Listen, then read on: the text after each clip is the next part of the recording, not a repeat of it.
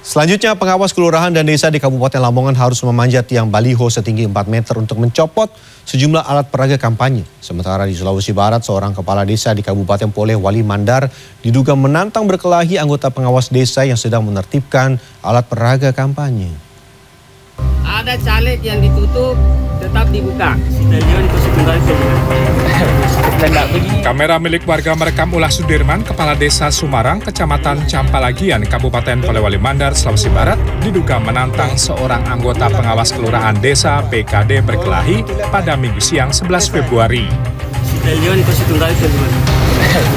Kejadian ini bermula ketika anggota pengawas tersebut menertibkan alat peraga kampanye pemilu 2024. Namun penertiban tidak berjalan mulus karena dihalangi Sudirman. Ia menuding anggota pengawas tebang pilih ketika mencopot alat peraga kampanye. Petugas pengawas berencana melaporkan kejadian ini ke polisi. Adapun Sudirman ketika dikonfirmasi via telepon membantah menantang anggota pengawas berduel. Ia berdalih hanya ingin mengajak anggota pengawas membicarakan persoalan pencopotan alat peraga secara baik-baik.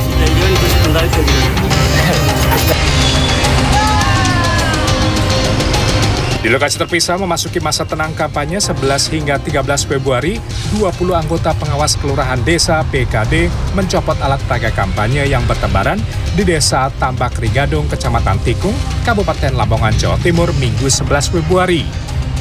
Mereka bahkan harus memanjat tiang baliho setinggi 4 meter untuk menurunkan alat kampanye. 200 alat peraga yang dicopot dari lima lokasi kemudian dibawa ke tempat pembuangan sampah akhir di desa Tambak Rigadung. Tim Liputan CNN Indonesia. Dirty Vote, film dokumenter dugaan kecurangan pemilu 2024 menjadi polemik.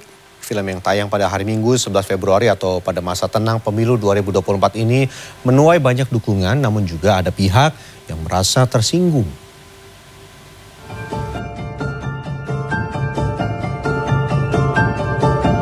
Rumah produksi Watchdog berkolaborasi dengan sejumlah organisasi masyarakat sipil merilis film dokumenter berjudul Dirty Vote.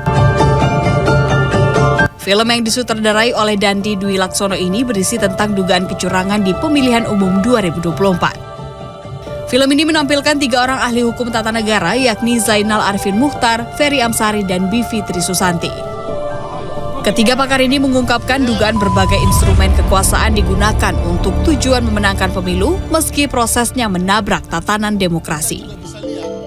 Kecurangan ini diurai berdasarkan sejumlah fakta dan data dengan analisa hukum tata negara. Bahwa memang telah terjadi kecurangan yang luar biasa. Hanya untuk memenangkan kepentingan mereka.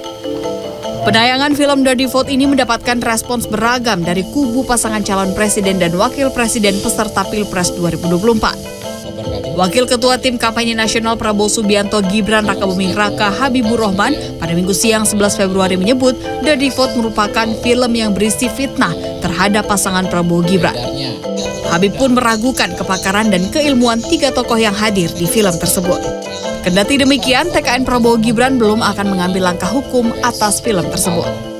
Karena memang uh, situasi sekarang kami konsentrasi uh, pengamanan pencoblosan ya. Jadi uh, eh, SDM kami juga tidak membadai untuk melakukan langkah-langkah hukum. Jadi kami cadangkan dahulu hak kami untuk melakukan upaya-upaya hukum.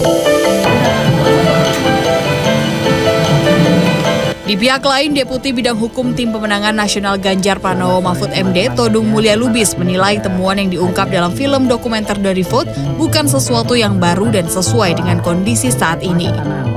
Saat konferensi pers di Media Center Ganjar Mahfud di Menteng, Jakarta Pusat pada minggu petang 11 Februari, Todung berpendapat film tersebut bagus untuk pendidikan politik masyarakat. Todung pun berharap tidak ada pihak yang beraksi berlebihan, apalagi sampai melapor ke pihak kepolisian. Jadi film ini menurut saya pendidikan politik yang sangat bagus. Jadi jangan baper lah, itu aja saya mau bilang.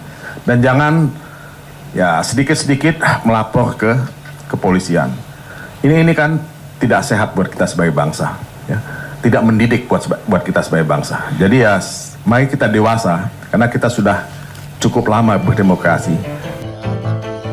Sementara calon wakil presiden nomor urut 1, Muhammad Iskandar atau Caimin tidak berkomentar banyak atas film Dirty Vote. Melalui akun platform media sosial X, Caimin sebenarnya hanya mencuit pertanyaan. Ketua Umum Partai Kebangkitan Bangsa ini bertanya apakah pengikut media sosialnya sudah menonton film tersebut. Hingga Senin siang 12 Februari, film dokumenter berdurasi 1 jam 57 menit ini sudah ditonton 4 juta orang. Ada sebanyak 20 lembaga yang terlibat dalam pembuatan film Dirty Vote, di antaranya Aliansi Jurnalis Independen, Greenpeace Indonesia, Indonesia Corruption Watch, LBH Pers, hingga YLBHI. Tim Liputan CNN Indonesia.